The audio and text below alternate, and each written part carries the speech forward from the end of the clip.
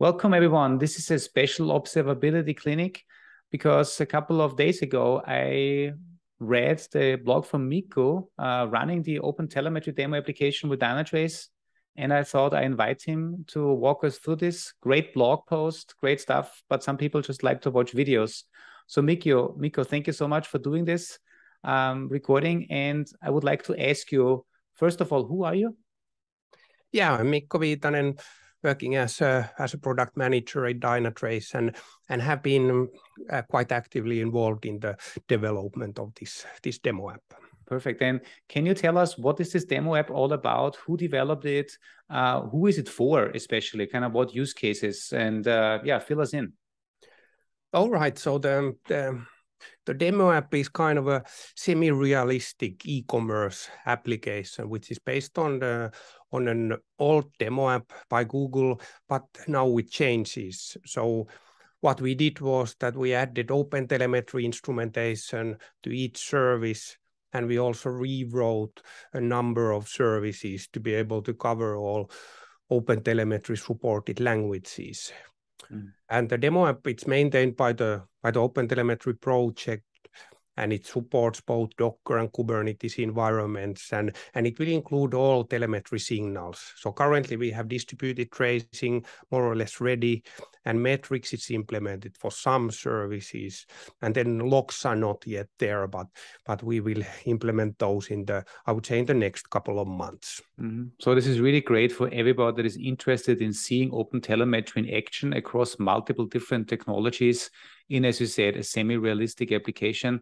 Uh, would you have an overview of the application from an architectural perspective?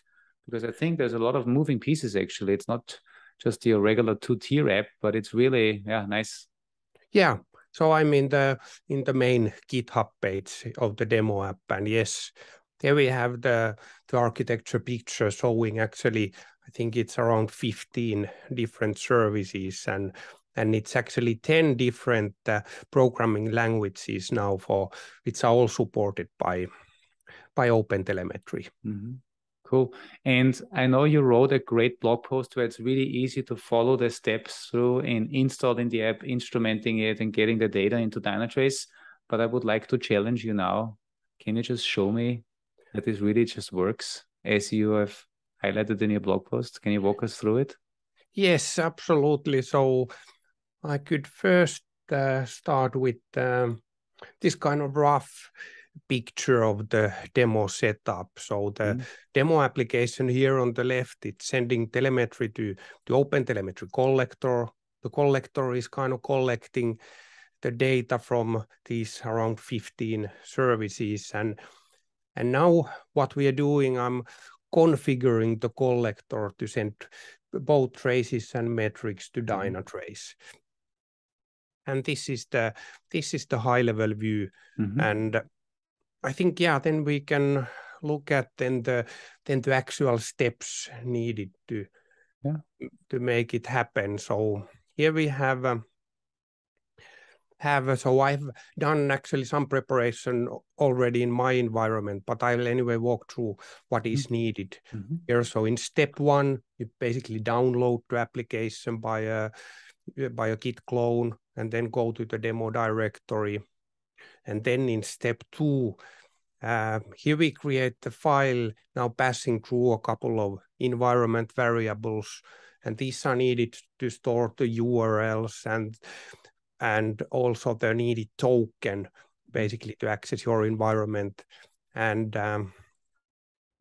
Yeah, I'll use basically these variables to uh, avoid writing the data directly to the to yeah. the config file.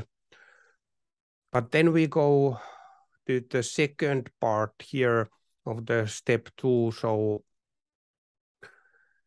so here we need to update the OpenTelemetry collectors configuration. Mm-hmm. And I'm adding a configuration to send telemetry data to, to Dynatrace. And uh, so we have uh, one exporter for traces and one for metrics. And then, then I add processors and pipelines as shown, shown here. And that's about the collector configuration then. Mm-hmm. Cool. And after that one, then we need to set up the environment variables, and this is done in the command line. And this one I actually did. So here is the kind of own Dynatrace API token mm-hmm. and the URLs for the environment. And uh, yeah, then I think I can start the start the demo. Let's yeah. see. Perfect. And I it's so easy. It's really nice because you're just using uh, Docker Compose. That means you have a Docker Compose file is launching all of the different components that are necessary. And then you're just configuring the collector to send the data to the Dynatrace backend. I mean, it's an open telemetry demo app, so you could obviously send it to any type of of backend that can ingest open telemetry traces and metrics. But in our case, obviously, it's Dynatrace. Um, that means it's now launching the app. It's launching the collect the open telemetry collector, and you configure the app to send the data to that collector, and then the collector sends the data to Dynatrace. Yeah, absolutely. And maybe to quickly show that yeah what kind of services we are we are having so we have exactly the services shown in the architecture picture number of services and and here we have actually also other backends ongoing like the Jaeger and mm-hmm. Grafana and Prometheus but but I will I configured kind of the Dynatrace then next to the default mm-hmm. default backends and I think we can take a look at and the then the application itself. So let's see.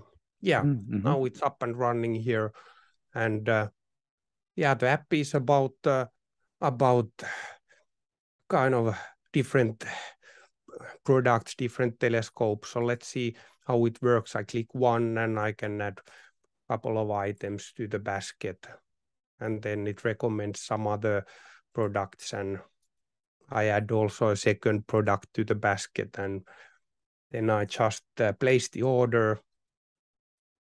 And yeah, that's mm. about it. So, so now, now it went through the whole app, all the services, and mm.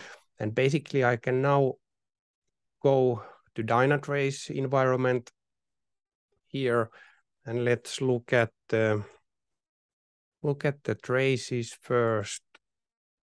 So if I yeah open the distributed traces i can see that yes a couple of traces already landed to to mm-hmm. dynatrace and and then we can i will filter with one service name let's put here checkout that's awesome, yeah, and that's also great for those people that haven't seen this. Right, Dynatrace has obviously been always built on top of distributed traces. We call this a PurePath. Uh, we have this technology, but now distributed traces from open telemetry are just as a first class citizen as our PurePaths have always been. And the great entry point is the distributed traces view here that shows you all the distributed traces in case you want to start your analytics and your diagnostics from an individual trace. And then you can filter on all of the, I guess, the metadata that we have on the traces. Yeah. Yeah. Yeah, absolutely. And I will open one of these traces just to see that, ah, yeah, mm, the trace is awesome. visible and it's actually quite a quite a large trace going through. Here it goes from the start from the load generator to front end and to checkout service, mm-hmm. goes to a cart service, and it it continues and uh, then to the currency service, shipping service, and to get the quote mm-hmm. for the shipping and and then to the email service mm-hmm. and the mm-hmm. payment service. So it's actually it's a quite a quite a big application in that sense. Even though yeah. you can easily run it in the doc, Docker and with only only like less than four gigs of RAM. Yeah. But, yeah. What I also see, and I like this uh, with any demo app, it's great if there's some load generator also. So that means as part of the deployment, you also have a little load generator script that is generating load, but it itself is also instrumented. That means we can actually see the traces starting from the load generator. That's also really nice. Yeah, and then we can uh, also look at metrics here.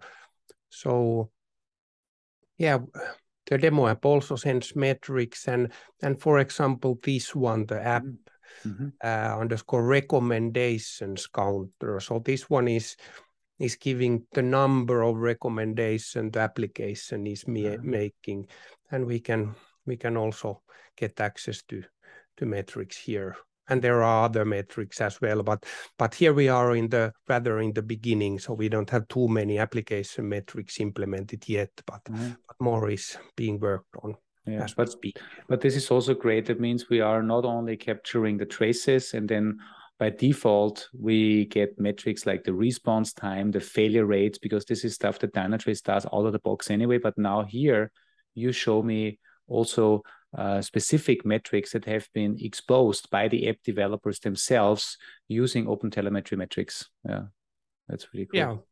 yeah, yeah, absolutely. So this was this was the demo part, and yeah. Can you do me a favor? Can you just quickly highlight again the GitHub repository? Maybe if you open up the second tab as a reminder. Yes. And it's if... this one here. So yeah. Yeah, I will make sure to post it uh, in the link where I post the video. And then the last thing is if you do me another favor, click on your first tab with the blog.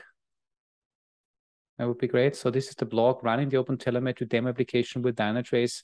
And I think in that blog, you also explain again, if you want to run this app with Dynatrace, here are the environment variables that you need to set with the token, with the endpoints.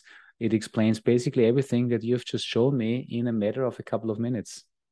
Yeah. Yeah, absolutely. So yeah. See, that it's was easy. easy. That was yeah. easy. Mm. That was really easy. I really like it. Hey, Mikko, thank you so much for this. Uh, this is kind of like bringing blog posts to life. And um, with this, I want to say thanks. Bye bye. See you the yes. next time. Thank you very much. Bye.